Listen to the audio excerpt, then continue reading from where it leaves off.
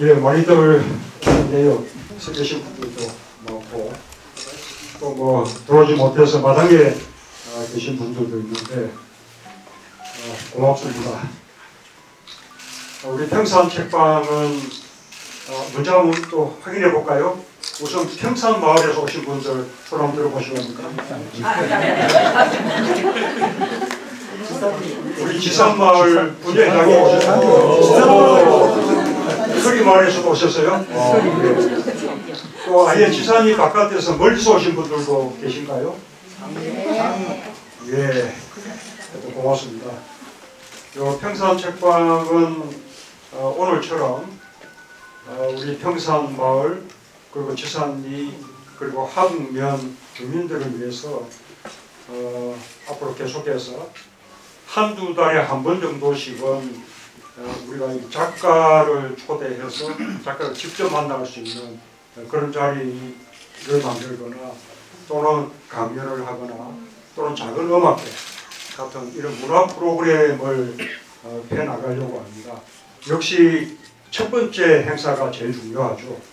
예, 오늘 첫 번째로 어, 아주 뜻깊은 어, 작가의 만남 어, 우리 초대 응해주신 우리 정지아 작가님 그리고 또 이 특별한 아, 이 행사에 함께 해 주신 모든 분들께 다시 한번 감사드립니다.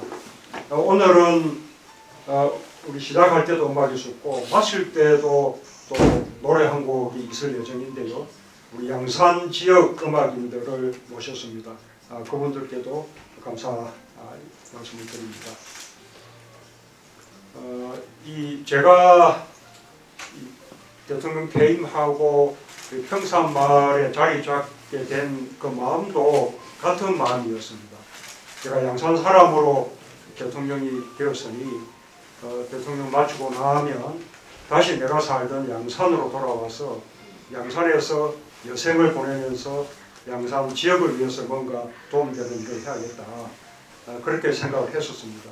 그래서 뭘 하면 도움이 될까 생각을 해봤는데 어, 제가 아무래도 농사를 할 여건은 되지 못하니까 또 제가 책을 좋아하고 하니 책방을 이렇게 열어서 책방에서 우리 마을 주민들 함께 만나기도 하고 함께 책 읽기도 하고 그리고 또 이런 문화 프로그램 어, 이렇게 쭉 해나가면 그것이 내가 사는 지역에 어, 도움이 되는 길이 아닐까 어, 그렇게 생각을 했습니다.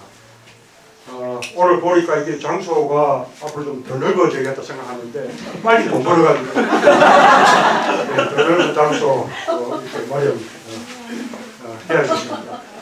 역시 어, 뭐 그런 만큼 이, 이 평산 책방의 성공은 우리 그 마을 주민들께서 얼마나 많이 참여해 주시느냐 거기에 달려 있는 것 같습니다.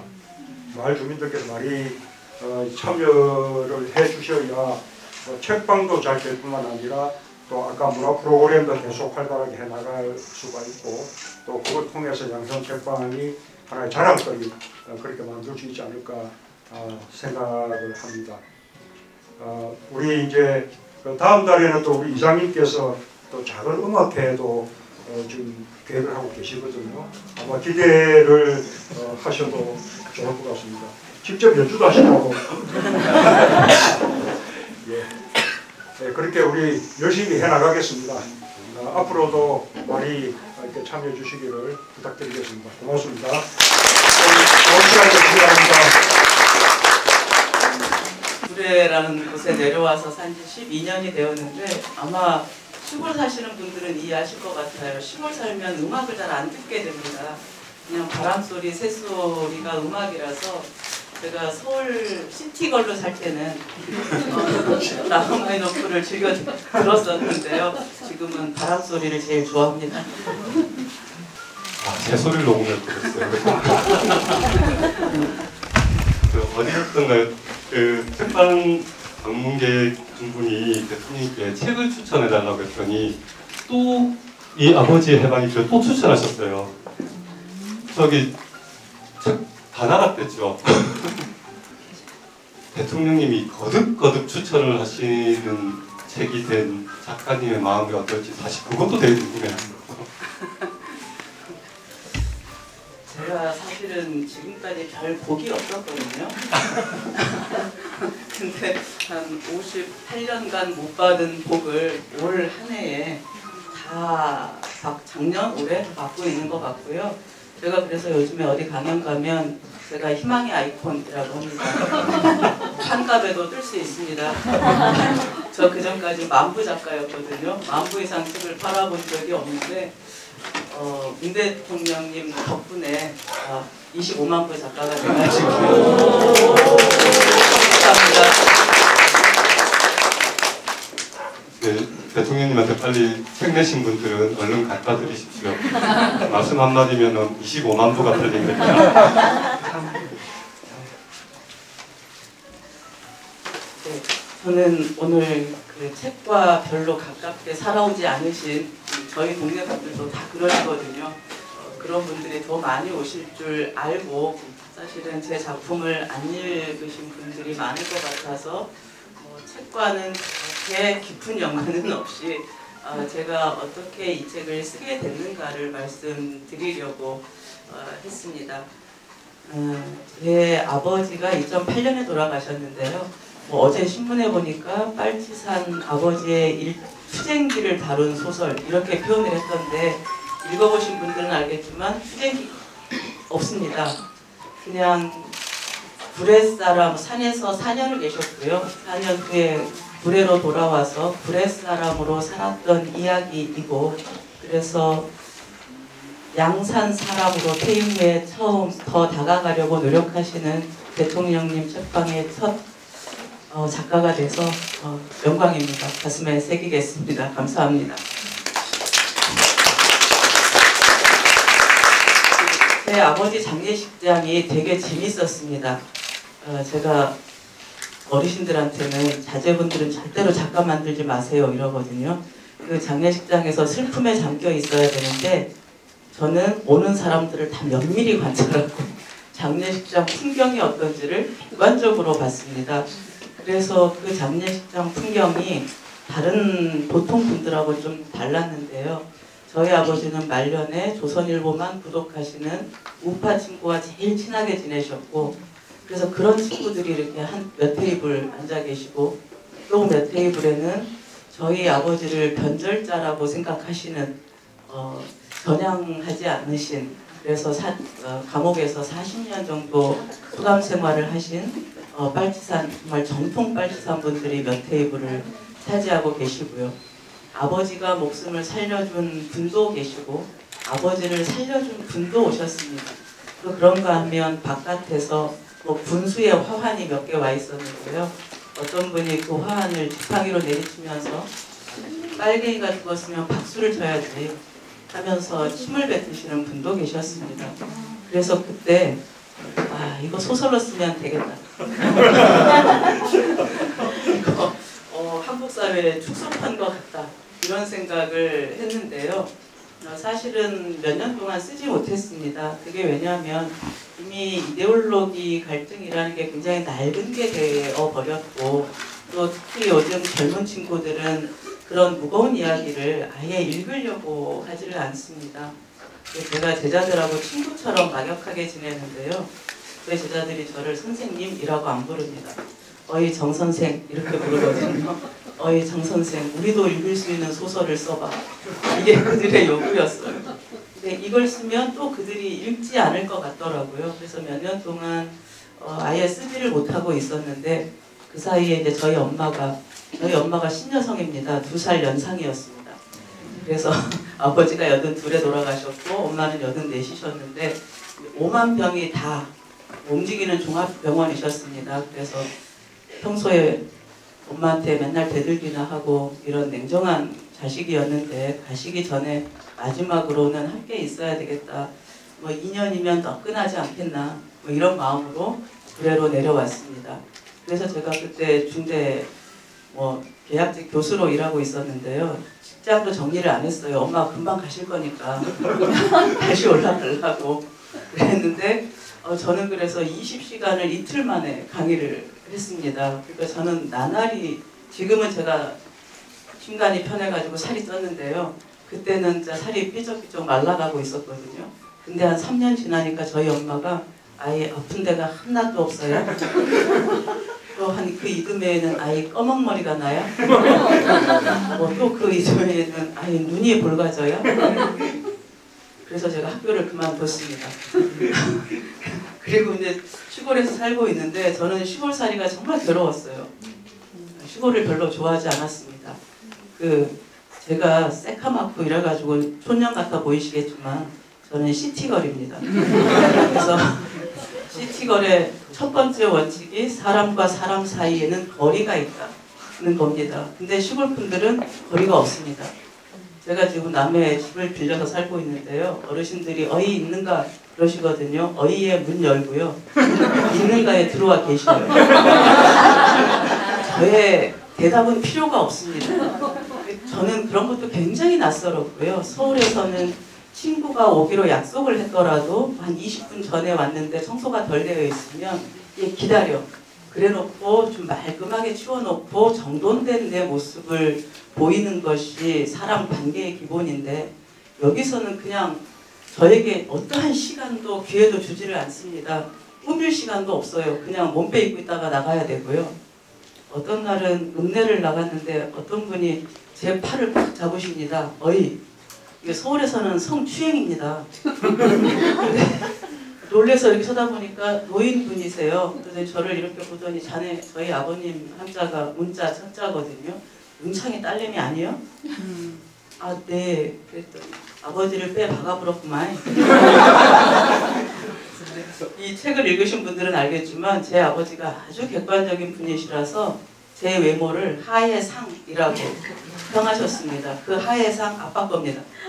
엄마는 상의 하 정 도는 되십니다. 근데 그분께서 어이 가세 저한테 시간이 있냐고 묻지 않아요. 저한테 어디로 가자고 묻지 않습니다. 그냥 어이 가세 해서 따라갔더니 시장 골목 안에 흐름한 선술집 같은 데예요.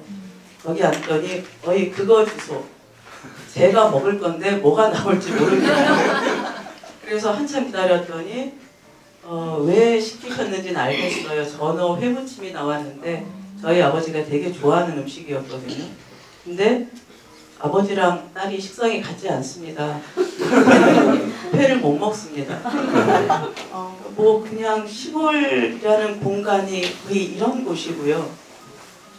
이것도 괴로운데 더 괴로운 것은 저는 장례, 이 소설의 모티프가 된 장례식에서 만난 사람들 그분들이 다 엄마 아버지의 사람들인데 저는 그분들을 엄마 장례식 때나 한 번 더 볼 줄 알았어요. 근데 제가 굴에 내려가서 사니까 계속 찾아오십니다. 빈손으로 오지 않으십니다. 바리바리 싸들고 옵니다. 어, 여기 그 언니 와 계시는데 저 떡집 언니가 저에게 온갖 장아찌를 담궈 주시는데요. 저는 장아찌의 종류가 세상에 이렇게 많은지 몰랐습니다. 엄마가 전 좋아하신다고 전 부쳐 오시고 뭐 제가 생김치 제가 가난한 공주여가지고요 담아놓은 지 이틀 되면 김치 안 먹습니다. 그날 담고 내일 오전까지만 먹는데 그런 김치 늘 담아다 주시고요. 처음에는 지금은 제가 전화해서 언니 고추장 떨어졌어요. 뭐 이러기도 합니다만은 처음에는 아 왜 주나 시티거래 원칙 두 번째 하나를 받으면 하나를 돌려준다입니다. 근데 그 그런 분들이 주는 직접 농사지어서 짜온 참기름 몇 병, 농사지은 뭐 찹쌀, 토종닭 뭐 이런 선물에 선물을 무엇으로 갚아야 될지 처음에 굉장히 난감하더라고요. 이게 좀 비싼 걸 사드리면 사람의 마음이라는 것을 돈으로 짓밟는 것 같은 느낌이고 또 너무 사소하게 해드리면 사람의 마음을 몰라주는 것 같고 그래서 이것에 익숙해지는데 굉장히 오래 걸렸고요. 저는 사실은 제가 그 사이에 익숙해지고 있다는 것도 몰랐습니다. 그냥 머리로는 계속 싫어하고 있었어요. 아, 엄마만 가시면 바로 서울로 간다.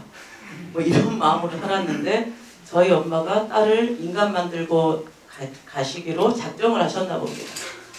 안 가십니다. 그래서 12년째 살고 있거든요. 근데 한 7, 8년, 8, 9년쯤 지났는데 제 친구들이 오더니 야, 넌 불에 오더니 사람이 됐다. 그래요. 제가 원래 엄청나게 까칠했거든요. 친구 한 10년을 만나야 친구 할 수 있나? 이렇게 생각했고요. 20년째 만나야 아 친구인가 보다 이렇게 생각하는 사람이었습니다. 그리고 빨치산의 딸 이라고 가장 부박했을 사람들이 속물들 아니겠습니까? 그래서 속물들 다 싫어했습니다. 권력 있는 자들 다 싫어했고요. 권력에 아우하는 사람 싫었고요. 멍청한 사람도 싫고 둔한 사람도 싫고 싫은 걸 얘기하라고 하면 석 달 열흘을 얘기할 수도 있었습니다.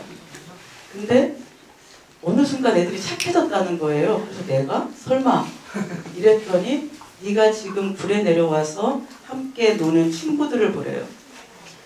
그래서 돌이켜 봤더니 아 제가 옛날이라면 함께 놀지 않았을 사람들하고 예전보다 더 깊은 마음을 나누면서 살고 있더라고요.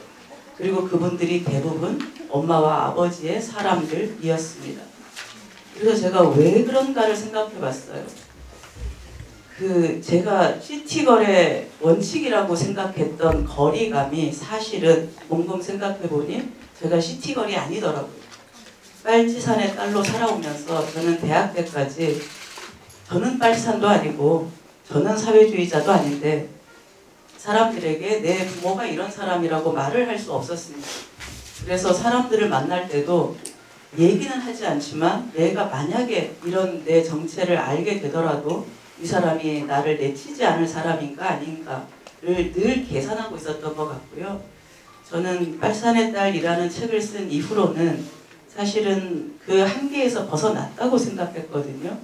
근데 저도 모르는 사이 그 사람을 대하는 거리감, 계산하는 태도 이런 것들이 습관이 되어서 몸에 배어 있었던 겁니다. 근데 구례 분들이 그걸 다 깨뜨려 주셨어요. 구례 분들이 저희 엄마한테 왜 잘하겠습니까? 그분 옛날 빨치산 출신이고 지금은 다 늙어서 한 말 또 합니다. 떡집 언니는 우리 엄마가 한 똑같은 말을 한 천 번씩은 들었습니다. 이를테면 다 제 자랑입니다.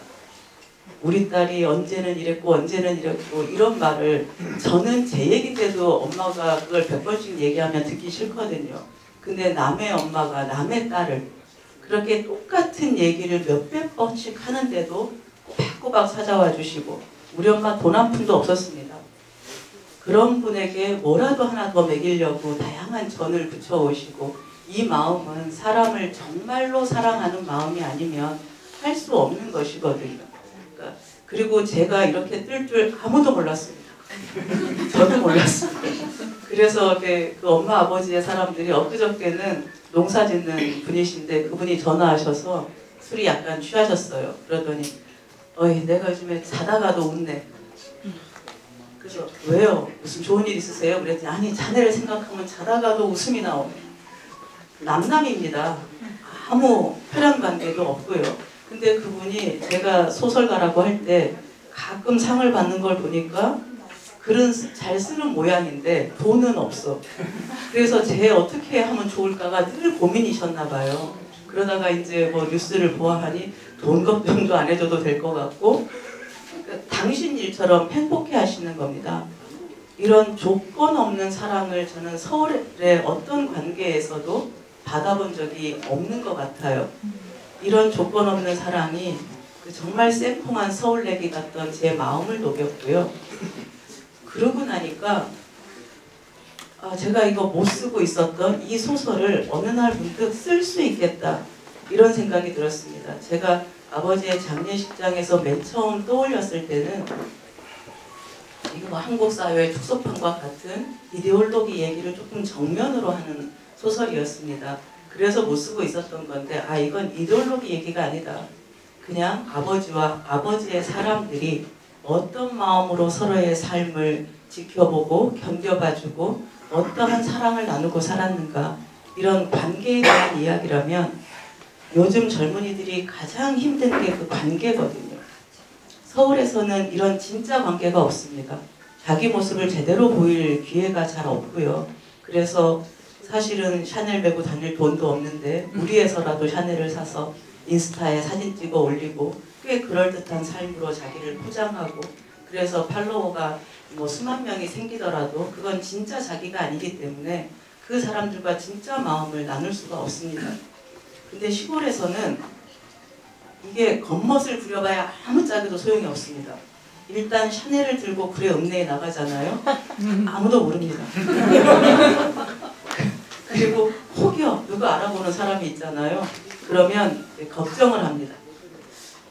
아, 자가 월급이 200도 안 된다든지 뭔 돈이 있어갖고 천만 원짜리 백을 메고 댕길까 자 이제 100불에 바람만 들어가지고 큰일 나버렸네.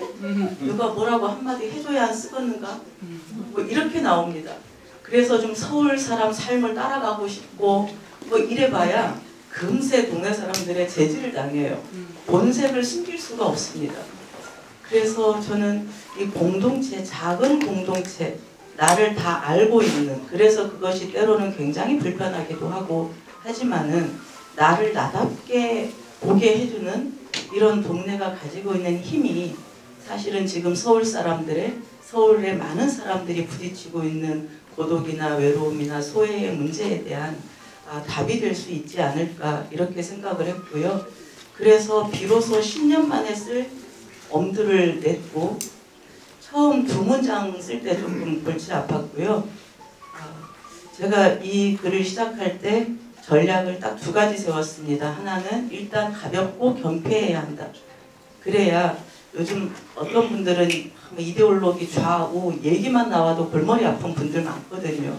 이런 분들까지 이 책을 읽게 만들려면 이건 최대한 가볍고 유머러스하고 경쾌하게 만들어야 되겠다. 이게 첫 번째 목표였고요.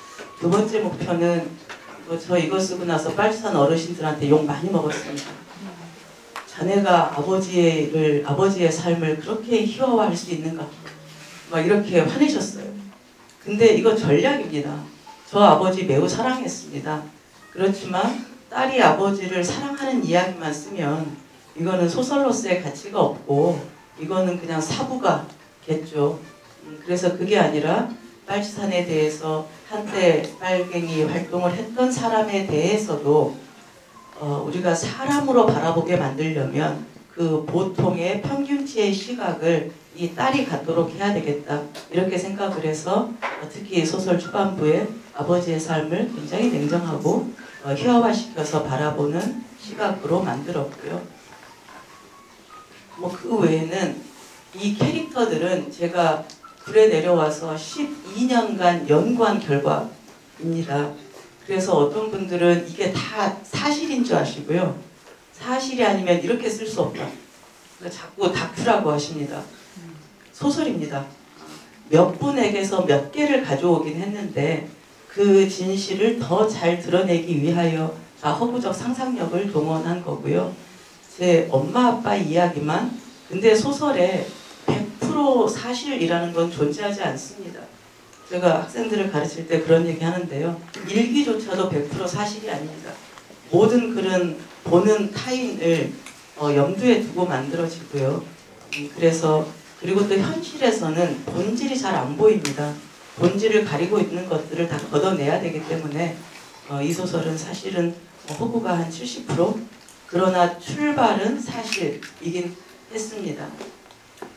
뭐 그래서 많은 분들이 이 글이 뜨고 나서 이유가 뭐냐고 물어보시는데 모르겠습니다. 그걸 알면 제가 지금까지 만부 작가가 아니었겠죠. 이미 20만 부 팔았을 겁니다. 여전히 모르겠고 다만 제 전략도 어느 정도는 먹혔다. 그래서 이것이 빨치산의 이야기가 아니라 동네에서 함께 살아가는 어떤 사연을 가진 이웃의 이야기, 우리들이 살아가고 있는 모습을 그린 이야기라고 받아들여진 것 같고요. 특히나 아버지와 잘 지내는 자식은 세상에 많지 않습니다. 그리고 누구나 자식은 모든 자식은 불효자라고 생각합니다. 아버지가 돌아가시고 난 후에야 부모님이 돌아가시고 난 후에야 후회하게 되는 게 자식인 것 같고요. 그런 마음에서 모두의 마음속에 남아있는 그 불효의 죄의식을 이 소설이 조금 건드려서 많은 분들이 이 책을 읽고 제 아버지, 이 소설 속 주인공 아버지를 떠올리는 게 아니라 어, 독자들 스스로의 아버지를 떠올리시는 것 같고요. 뭐 그 점이 좀 어느 정도 높였지 않을까 싶지만 사실은 그보다 더 근원적으로는 뭐 대통령님, 유시민 작가 뭐 이런 분들의 추천이 사실은 이 책이 대중적으로 널리 읽히는데 뭐 큰 힘이 된 것 같습니다. 그래서 세상은 결국은 혼자 살 수 없다는 것도 다시 깨달았고요. 제가 구례 생활을 하면서 깨달았던 한 가지가 이 소설을 가능하게 했다는 게 오늘의 결론인데요. 세상에 쓰이지 않는 사람은 없다는 것입니다. 제가 옛날에는 머리 나쁜 사람도 싫어하고 뭐 이렇다고 했지만 둔한 사람도 싫어하고 둔한 사람들이 있어야 예민한 사람들이 화낼 때가 있습니다. 예민한 사람 둘이 붙어 있으면 서로 스트레스 받아서 서로를 못 견뎌줍니다. 누구 하나는 무던하게 옆에서 화를 내도 좀 짜증을 부려도 참아주고 뭐 머리 나쁜 것도 마찬가지입니다. 다 세상 사람들 다그 예리하고 머리 좋으면 세상 고달픕니다. 그러니까 누군가는 모르고 눈 감기도 하고 이래야 사랑할 맛도 나는 것 같고요. 제가 돌이켜보니까 제 아버지 장례식을 제가 상주 하나인데 아무 문제 없이 잘 치렀습니다. 그게 알고 보니 제가 정말 싫어했던 오지라퍼들이 사방에서 도와준 결과였습니다. 그래서 제가 그 뒤로는 어떤 사람을 옛날에는 어, 저 사람은 저래서 싫어. 저 사람은 그래서 가까이 하지 말아야지. 이런 결론이었다면 아, 저 사람은 사람이 부던해가지고 스트레스도 잘 안 받고 아무리 힘든 일이 있어도 크게 상처받지 않고 잘 묵묵히 견뎌 나가겠구나. 뭐 이런 생각이 듭니다. 그래서 바꿔 말하면 누구나 쓰일 때가 있다는 것은 누구나 아름다움을 가지고 있고 그 아름다움을 발견함으로써 비로소 누구나 아름다운 어, 아버지의 해방일지 속 인물들을 어, 창조할 수 있지 않았을까 싶습니다. 뭐 그리고 또 다른 여러 가지 이유야 있을 텐데요. 제가 이렇게 그래서 이걸 알아야 다음 소설을 잘 쓸 수 있을 것 같았거든요. 그래서 고민을 하고 있었더니 어떤 분이 이렇게 말했습니다. 싸이가 강남 스타일이 뜬 이유를 아직도 모른다. 근데 그분은 계속 찾고 있대요. 그래서 이것 때문에 떴나 싶어서 이렇게 만들어 보면 망하고 있고 저것 때문에 떴나 해서 저렇게 만들어 보면 또 망하고 그래서 싸이 최초로 망하고 있답니다. 아, 이제 그 말은 저더러 쓰던 대로 쓰라는 말 그런 거 고민하지 말고 어, 쓰던 대로 쓰라는 말일 것 같습니다. 어, 그 제가 어떤 분이 예, 어떤 기자분이 인터뷰를 하면서 어, 아, 당신의 아버지를 한마디로 정의하면 뭐라고 할 수 있겠는가 이렇게 물으셨어요. 저도 한마디로는 생각을 안 해봤거든요. 그래서 제가, 제가 잠깐 고민을 하고 있었더니 사회주의자 이렇게 물으시더라고요. 제가 바로 아니에요, 아닌데요, 그랬어요. 왜냐하면 저희 아버지는 어, 베를린 장벽이 무너질 때 사회주의는 이미 실패한 이론이라는 것을 인정하셨습니다. 그래서 제가 그날 아버지한테 정말로 정색을 하고 물어서 저희 어머님은 그날 우셨거든요. 근데 저희 아버지는 아무 말도 없이 하루 왼종일 텔레비를 보고 계셔서 제가 좀 아버지한테도 싸가지 없는 딸이어가지고 아버지가 믿었던 이데올로기가 눈앞에서 실시간으로 무너지고 있는데 기분이 어떠십니까? 이렇게 여쭈었어요. 그랬더니 저희 아버지가 저를 똑바로 쳐다보시면서 나는 사회주의를 위해서 목숨을 걸지 않았다. 인간은 목숨이 붙어 있는 한 더 나은 세상을 만들기 위해서 최선을 다해야 된다. 그때는 그 대안이 사회주의였을 뿐이다.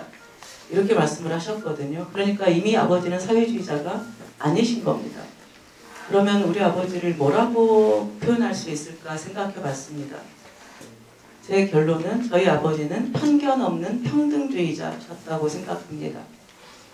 저희 아버지는 동네에 이렇게 애들이 모여 있으면 그 중에 옷이 제일 꾀재재하고 코 찔찔 흘리는 애한테 제일 먼저 다가가서 그 코를 소매로 닦아주는 분이셨습니다.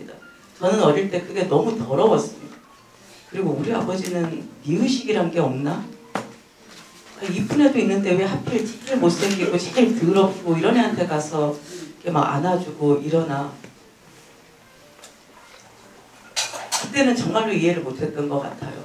그리고 또 하나 제가 떠오르는 거, 뭐 이 소설에 등장하는 뭐 박물 장소 이런 분을 재워주기도 하고 뭐 그런 건 당연했고요. 옛날에는 참 잔혹한 시대였습니다. 그러니까 정신적 질환이 있으신 분들을 치료를 못하니까 우리는 이제 그때 죄송합니다만 미친년이 동네마다 하나씩 있었습니다. 그리고 아이들은 잔인하기도 해서 그분들이 이렇게 지나가면 아, 미친년이다 이러면서 돌도 던지고 막 이랬었거든요. 참 돌이켜보면 잔인한 일인데 그럴 때 저희 아버지는 유일하게 그분에게 말을 시키는 분이셨습니다. 어디 갔다 오요? 밥은 잡쌌어? 그러면 그분이 말은 안 해요. 그분이 말하는 걸 한 번도 들어본 적이 없는데 이렇게 막 몸을 빽빽 꼬면서 이렇게 웃으셨거든요. 저는 그것도 이해가 안 됐어요.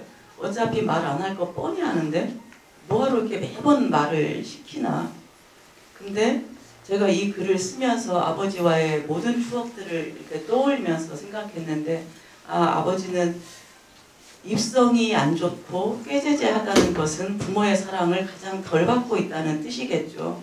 그래서 아버지는 잠깐이지만 그 잠깐이라도 자기의 사랑으로 그것을 조금 위로해주고 싶으셨던 것 같고요. 미친 사람이라 제정신이 아닐지 모르지만 그 사람도 사람으로 대했기 때문에 다른 이웃에게 말을 걸듯이 이렇게 밥자 쌌소 이런 얘기를 했던 걸 거라고 생각합니다. 사실은 저도 그런 아버지의 정신을 이어받고 싶다고 생각을 하는데 아, 쉽지는 않습니다. 저는 아직도 예쁜 애들이 좋고요. 지디가 좋고요. 어, 개 고양이도 기왕이면 이쁜 애들이 좋고요. 그러나 노력은 하려고 합니다. 세상의 모든 존재는 똑같이 고귀하고 아름다운 존재라고 생각하고 있고요.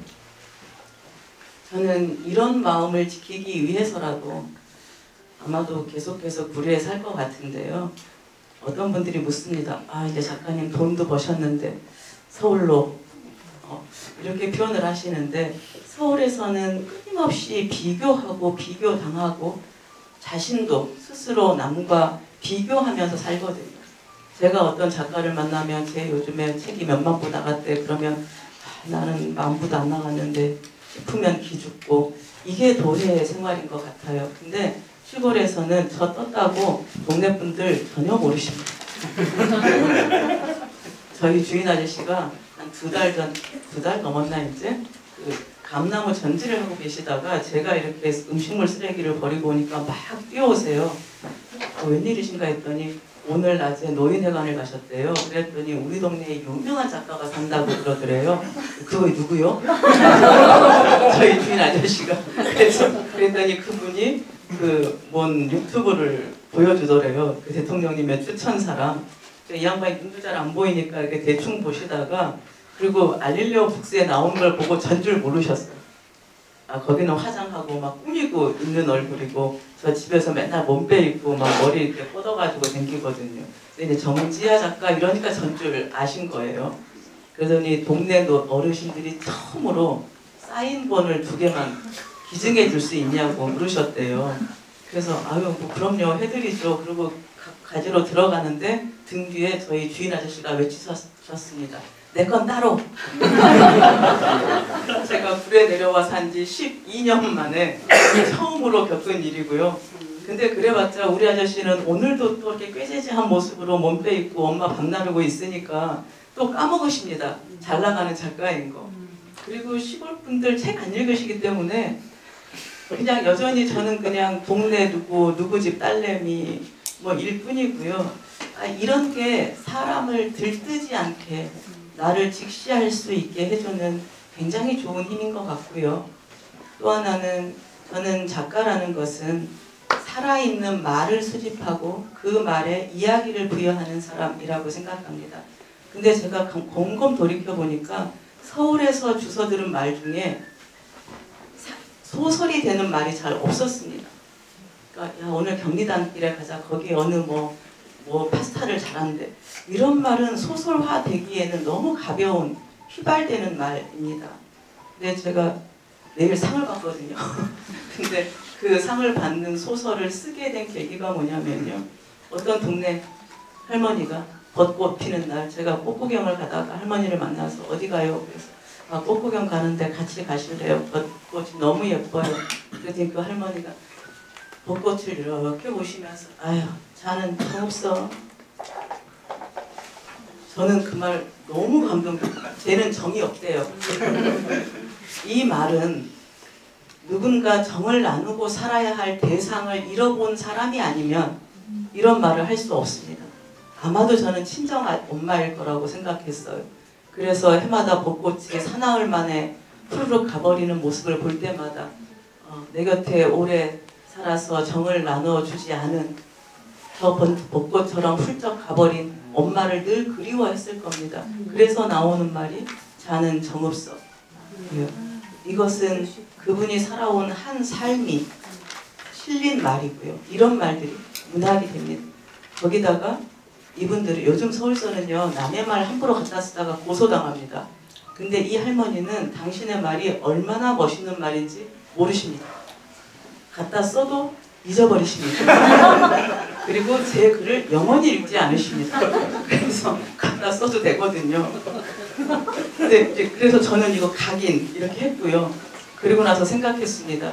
아, 이 할머니 말을 좀 더 본전을 뽑아야 되겠는데 어, 뭐라고 말을 시켜야 되나. 근데 저도 막 이렇게 너스레가 좋진 않아가지고 그럼 할머니 산수유 보러 가실래요? 그랬어요. 산수유는 한 두 달 피어 있거든요. 그랬더니 할머니가 피식 웃으시면서 걔는 속없어.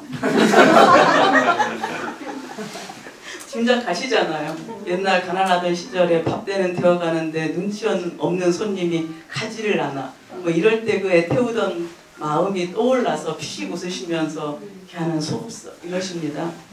어, 저는 시골 속에 사실은 현대의 인간관계의 고독함, 무의미함 이런 것들의 답이 시골에 있다고 생각이 들고요. 작은 공동체 안에 그리고 작가들이 수집해야 할 살아있는 말도 시골 속에 있다고 생각합니다. 그래서 앞으로 돈을 더 번다고 해도 서울로 떠나지 않고 어, 대통령님이 양산을 지키시듯이 저는 어, 구례를 지키려고 생각합니다. 긴 말 들어주셔서 감사합니다.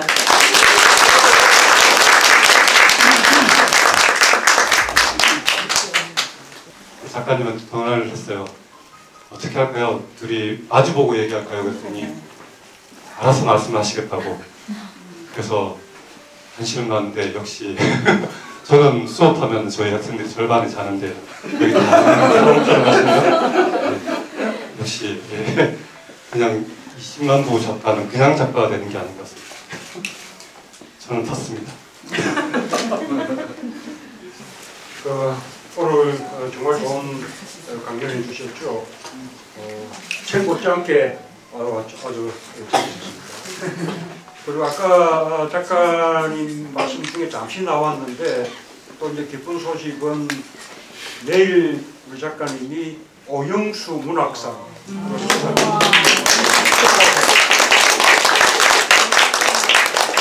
네, 혹시 오늘 그 이렇게 또 원하시는 분들은 책에 사인도 해드린다고 하니까 필요한 분들은 접촉을 하시기 바랍니다. 우리 꼬마들은 어디서 왔어요?